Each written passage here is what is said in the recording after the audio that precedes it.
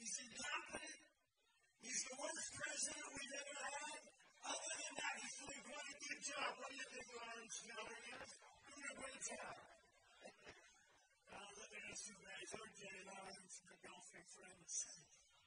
We don't have to agree on everything, but we can agree that we want strong borders, not open borders. We want the American dream, not the Biden inflation nightmare. We want safe communities, not defund the police and abolish cash bail. How about cash bail? Those who really probably want bail.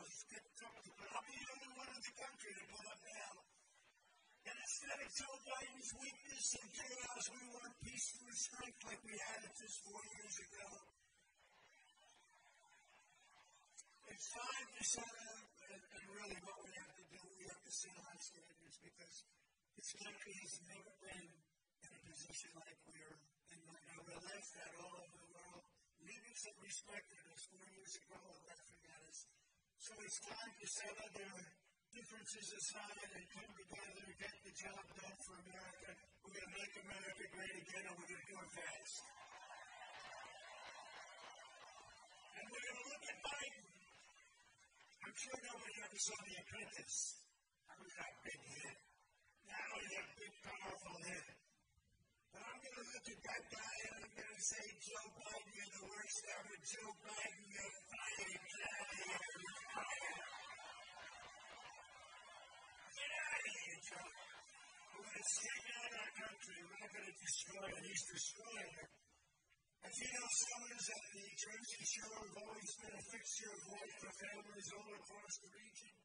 But thanks to the 15% Biden inflation tax, you know it's a new tax.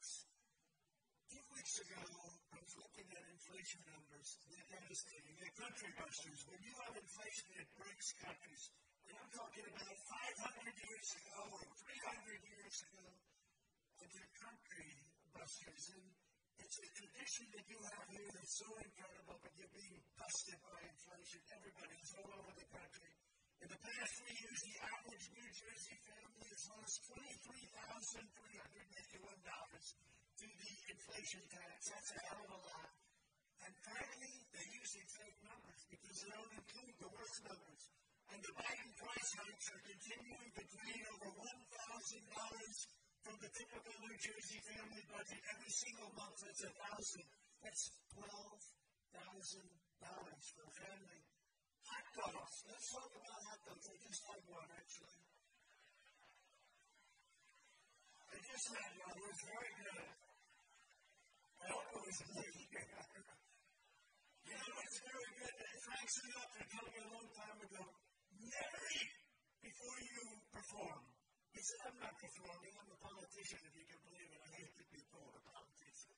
I like I'm a businessman much better, but I guess I'm a politician. Because we did great in 2016, we did much better in 2020. A lot better. We have million 12 votes.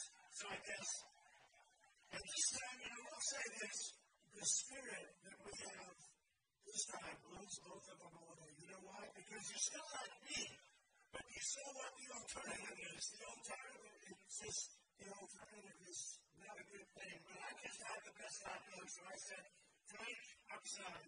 Now, Pavarotti was a good friend. He didn't have that say. He ate all the time. He didn't care. But I just had a hot dog, and it was very good.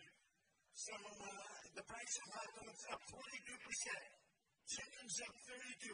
Hamburgers are up 37%. That's why I had the hot dog. It went up the Soda's up 30%. Eggs are up 50%. Gasoline's up 50%. Bacon is up 79% bacon. That's why don't have bacon anymore. It's so expensive. Not one thing is cheaper. There's not one thing anyway. There's not one item that's cheaper. Energy is way up. That's what caused the problem. You had low energy. You're at energy at $1.87.